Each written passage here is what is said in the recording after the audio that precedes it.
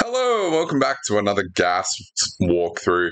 Uh, today we're looking at March 13, 2024's Slow Thermo by Clover. Who's Clover? Clover's one of our gas setters here at Gas HQ. Uh, I'm another setter, Bill Murphy. Hello, lovely to meet you if it's uh, your first time on the channel. Um, so, uh, we set uh, variant Sudoku. We make a new one every day and we post it. Yeah. Uh, you can find the link to this puzzle right underneath this video. You can give it a go yourself. Um, yeah, that's about it. Um, say hi to Philip Newman when he's around, you know, um, give him a nice pat on the head and feed him a treat. That's what we like to do. Um, but uh, with that being said, uh, you will also find the hat times beneath us. Uh, two hats is for a very fast time. One hat, uh, one party hat is for a pretty good time, and everyone can have a dinosaur. Um, today's one is a snoring blah, Caesaurus. Yeah, that feels about right. Um, but let's look at today's puzzle. Today's puzzle for March 13, 2024 is Slow Thermo. Um, normal Sudoku rules apply. So in each box, row, and column, we got to put the digits 1 to 9, once each. Cool. Um, now, uh, dids along thermometers, so that's what this thing is uh, must either increase or stay the same starting from the round bulb as it goes towards the tip. So, as an example, a thermometer could be two, three, uh, three, four, um, whereas a regular thermometer would have to be one, two, three, four, five. Cool. All right. Let's get going. Um, I'll just restart, but I am going to like explain it. Now, um, couple of things. Uh, okay, so if you've never seen a thermometer puzzle before, um, there's a couple things that we like to do. Uh, one, we can ask ourselves, hey, where does nine go? Uh, no, sorry, hang on. Where does one go in this box? Um, which is always a really neat trick to think about. Um, because one can never go on the end of a thermo, it can definitely never go on the next uh, second last, and it can't go on the third last of a thermometer, so it must go there and there. Similarly, where does 9 go in this box? Well, it can't go in the first two cells, especially if we have more to go, but it can go in the third cell. So let's look at that. Now, when we talk about thermometers, we like to talk pencil marking. Now, if you're a bit uh, new to uh, Sudoku and a little bit uh, unsure about what we do when we pencil mark things, um, if you have like the little corner marks when you've done it with, like, say, the New York Times, uh, you'll get either things where, like, here, we know where one's going to go. I'm going to put it in in a second.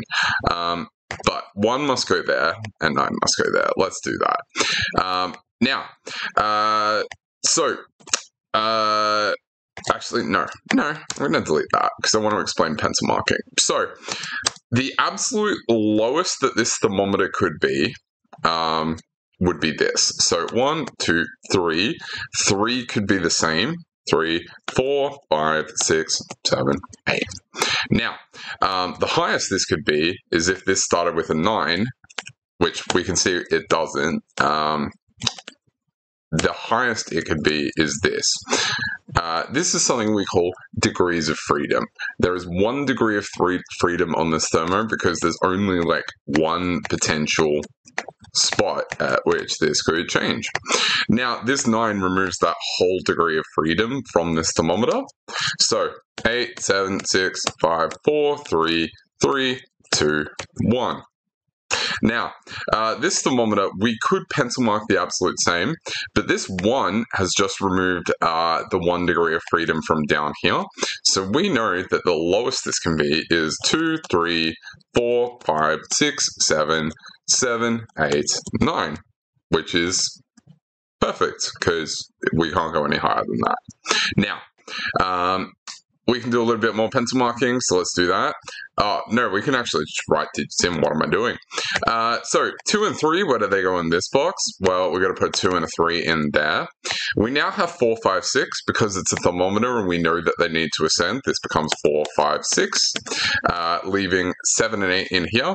Uh, and because once again they need to increase this becomes 7 and 8 now 7 and 8 need to go in this box, so we can put 7 and 8 there.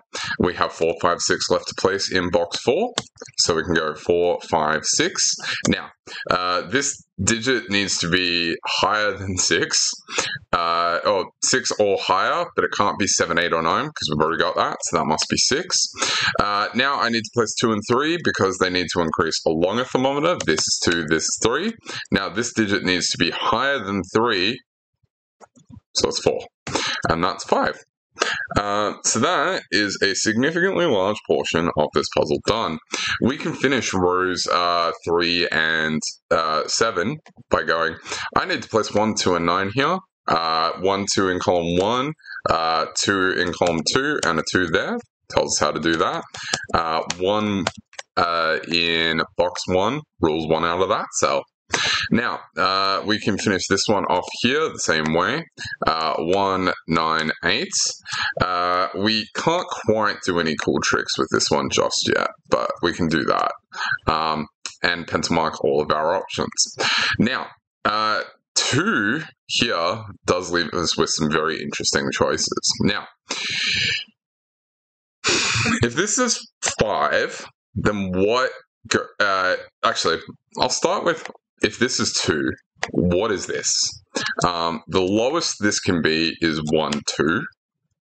Uh, and now if this is three, I can't put any digit less than three, uh, less than five on this thermometer that isn't five or uh, three, four, five.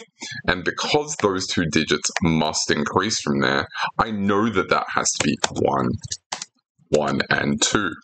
Now, I still don't quite know what that is. Um, I can tell it's not 2. Um, and the reason why I can tell it's not 2 is because I have a 1 and a 2 here, which means I can't put a 2 there because there's no way for it to increase from 0.